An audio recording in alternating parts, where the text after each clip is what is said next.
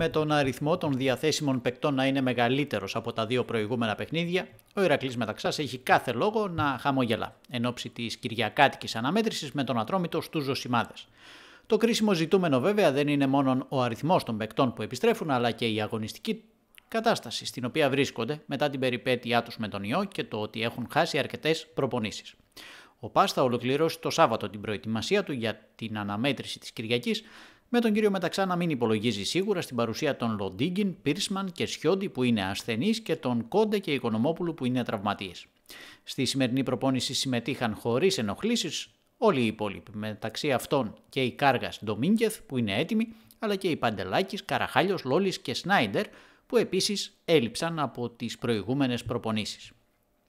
Τη θέση του Μάρβιν Πίρσμαν στο βασικό σχήμα θα πάρει ο Καρντάφσκι που ξέρει τη θέση του αριστερού ακραιοαμυντικού.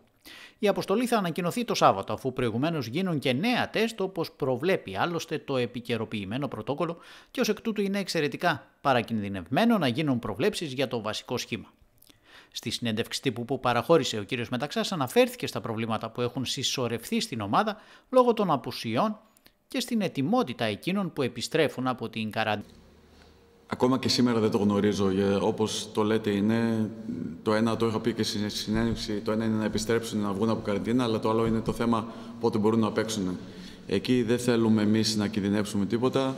Μιλάμε με τους γιατρούς, μιλάμε με τα παιδιά και θα το αποφασίσουμε την τελευταία στιγμή. Μιλάμε για υγεία. Αυτό είπα τότε, αυτό λέω και τώρα. Πρέπει να σκεφτόμαστε την υγεία πρώτα και όλα τα άλλα μετά. Ο μεθαυριανός αντίπαλος του ΠΑΣ έρχεται με νέο προπονητή και νέους παίκτες και ως εκ τούτου ο κύριος Μεταξάς τόνισε πως είναι η πρώτη φορά που δεν μπορεί να πει με βεβαιότητα ότι ξέρει πώ θα αντιμετωπίσει τον αντίπαλο. Το στάδιο είναι ότι περιμένουμε έναν αντίπαλο που για μένα σαν προπονητή ειδικά δυστυχώς δεν ξέρω τι μας περιμένει την Κυριακή γιατί αλλάξαν προπονητή, έχουν ένα μήνα να παίξουν, επιστρέφουν και εκεί κάποια παιδιά, άλλοι μπορεί να μην είναι και είναι για πρώτη φορά που δεν είμαι εγώ σαν προπονητής έτοιμος να πω ότι ξέρω ακριβώς τι με περιμένει. Στρέφουμε στα δικά μας ε, και τα καλά αλλά και τα λάθη που δείξαμε στο τελευταίο παιχνίδι. Αυτό προσπαθήσαμε αυτή τη εβδομάδα να βελτιώσουμε. Ε, και πάλι δεν βοηθάει ότι κάθε μέρα αλλάζει το σχήμα, αλλάζει. Μια μέρα έχεις 10, 15, 13, ε, κάποιους τους έχεις, δεν μπορείς όμως να τους βάλεις full. Αλλά αυτό προσπαθούμε και περιμένουμε το επόμενο παιχνίδι. Όλα τα άλλα θα τα δείξει η πορεία. Η υπόθεση Πίρσμαν μονοπολεί το ενδιαφέρον τι τελευταίες ημέρες με τα ρεπορτάζ του Άρη να κάνουν λόγο για οριστική συμφωνία για συμβόλαιο 2,5 ετών με τον Βέλγο αμυντικό του ΠΑΣ. Για να γίνει μεταγραφή, βέβαια, θα πρέπει να συνηγορήσει και ο ΠΑΣ κάτι που δεν έχει γίνει μέχρι στιγμής, αφού οι δύο ΠΑΕ δεν τα έχουν βρει στο οικονομικό. Ανεξάρτητα από το ότι ο Πίρσμαν δεν θα παίξει την Κυριακή, παραμένει παίκτης της ομάδας, όπως είπε ο κ. Μεταξάς.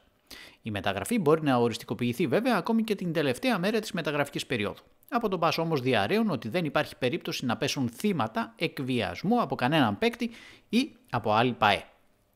Ο Πίρσμα αυτή τη στιγμή είναι παίκτης του Πα Γιάννηνα. Απλά είναι τώρα άρρωστος, γι' αυτό δεν, δεν είναι μαζί μας την Κυριακή. Και όλα τα άλλα δεν είναι δικά μου θέματα. Η αποχώρηση Μιλιντσιάνου και πιθανά και άλλου παίκτη αποδυναμώνουν το ρόστερ του ΠΑΣ. Με τον κύριο Μεταξά να λέει ότι υπάρχουν συζητήσεις με τον κύριο Χριστοβασίλη για παίκτες, αλλά αυτό γίνεται όλη τη χρονιά και όχι μόνο αυτές τις ημέρες. Έδειξε ωστόσο ότι η ομάδα θα πρέπει σίγουρα να αποκτήσει έναν επιθετικό. Και σε περίπτωση αποχώρησης και άλλου παίκτη, τότε θα χρειαστεί και περαιτέρω ενίσχυση. Αυτές τι συζητήσεις κάνουμε όλο τον χρόνο.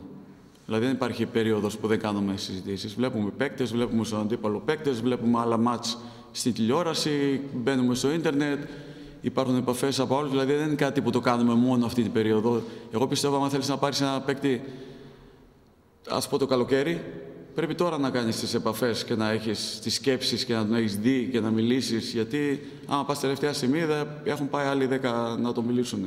Αλλά έχουμε μικρό ρόστερ και δεν μπορούμε να αφήσουμε πολλούς να φύγουν χωρίς να φέρουμε κάποια παιδιά. Αυτά τα παιδιά μπορεί να είναι και από την ΚΑΠΑ19 μας. Έτσι κάνουν φανταστική πορεία. Βλέπουμε και αυτά τα παιχνίδια, δεν το ξέρω.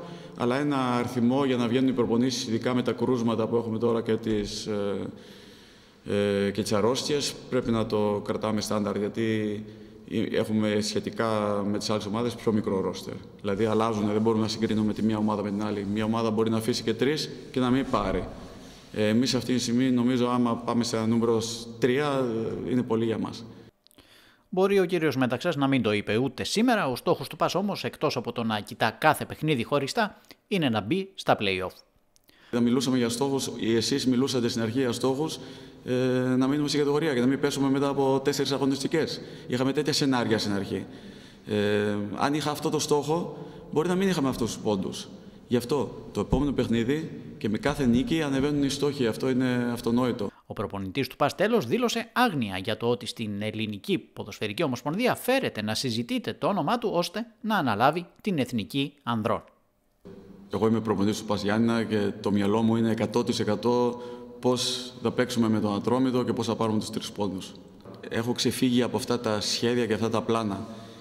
Θέλω εκεί που είμαι να δουλεύω να δίνω και, και το ξαναλέω για, γιατί, όχι μόνο για τον εαυτό μου, αλλά αυτό το μήνυμα πάρα πολύ με ενδιαφέρει να το περνάω και στους παίκτες.